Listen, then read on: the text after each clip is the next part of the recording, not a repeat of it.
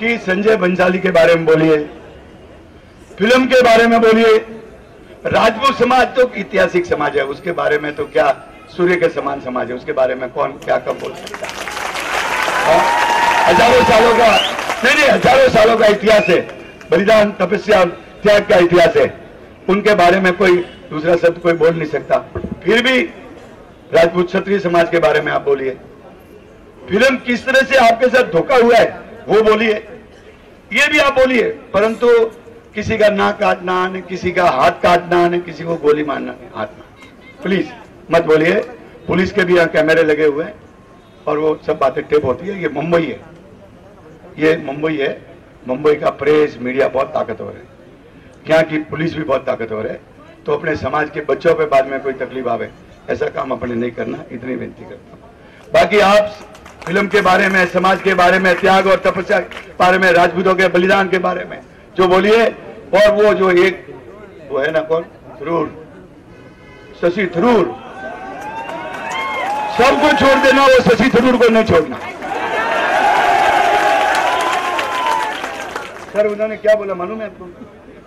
मैं एक एक वर्ड याद है। वैसे मैं मैं बहुत भूलकर आदमी हूँ। वहाँ पर मैं वो, उसने जो बोला ना, मैं दस बार पढ़ा। उसने ये बोला ये राजपूत, ये राजे सुनो, ये महाराजे, आज पद्मावती का विरोध कर रहे जब अंग्रेज़ आए थे, तब ये तो भाग के चले गए थे। तार बापे बारिया के भागे हाँ? और अगर ये राजपूत नहीं लड़े ना तो भाई को तू कौन लड़ा था? कभी ज़िंदगी में तलवार पकड़ी हाथ में? हाँ? पहले अपनी औरत का खून किया, उसका केस चाल रहा है। वो तो बेशरम ठीक कर तू राजपूतों के बारे में क्या बोलेगा? हाँ? हाँ? तूने, अरे, तूने अपनी औरत को नहीं छोड़ा भाई। हाँ लोग तो मारते थे, दूसरों की औरत को मारते। तूने तो अपनी खुद की औरत को मार दिया। जा, कोर्ट में जा, डिफेमेशन केस कर जा। शर्म आनी चाहिए। इतने बड़े समाज के बारे में तू इतना बड़ा कांग्रेस का नेता है और तू इतने बड़े समाज की अपमान करता है और बोलते हैं, अंग्रेज़ आए तो भागे कौन भागा किसने देखा अगर हम भागे थे तो कौन मरा कौन शहीद हुआ राजपूत शहीद हुआ राजपूत मरा और राजपूत कथा। अरे, मुझे खुश तो मैं कदम साहब कभी होता हूँ, परसों लालू प्रसाद को मैंने टीवी में देखा, उसने कहा कि ये फ़िल्म बैन होनी चाहिए। लालू! और दूसरे, अजमेर शरीफ के वो सर है ना, वो क्या नाम है? दरगाह। उस दरगाह के कोई प्रमुख है, उन्होंने कहा कि फ़िल्म राजपूतों का अपमान करनी है तो ये बंद होनी चाहिए।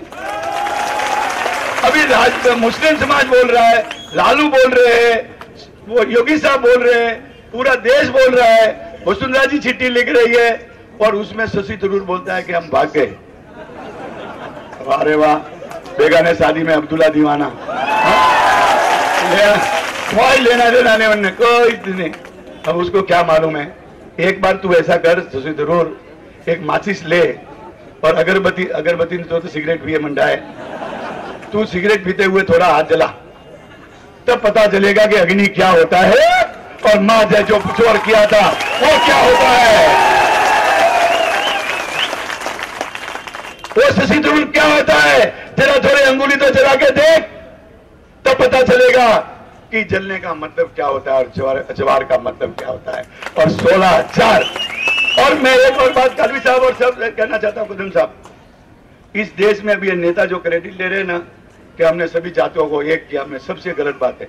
सबसे पहले बार हिंदुस्तान में सभी जातियाँ एक मंच पर आकर किसी ने चोर किया ना तो सोलह हज़ार महिलाओं ने जो चोर किया, उस दिन उस दिन जातिवाद खत्म हुआ किया था? तो जातिवाद भी क्षत्रियों ने पहल की है ये बात भूलो मत। क्यों वो सोलह हज़ार सब कोई क्षत्रिय थोड़ी थी? पूरे चित्तौड़ में जितनी माताएँ, बहनें थी, वो सब थी। तो उसमें सब दलित थे रावल होंगे, पुरोहित होंगे, ब्राह्मण होंगे सभी सबने ज़ोर किया तो पहले दिन इस देश में जातिवाद कब खत्म हुआ? पद्मजी के साथ जातिवाद खत्म हुआ। और वो इतिहास में अभी समय नहीं लेता, समय कम है। सर्वप्रथम में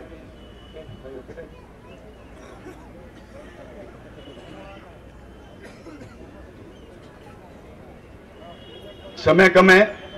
आपको मालूम है, लास्ट के हमारे दो तीन वक्ता है, वो बोलेंगे पंद्रह बाकी ने दो दो मिनट में अपनी बात करनी है। श्री शक्ति सिंह जी बांदी कोई से विनती करता हूँ कि मार्गदर्शन करें।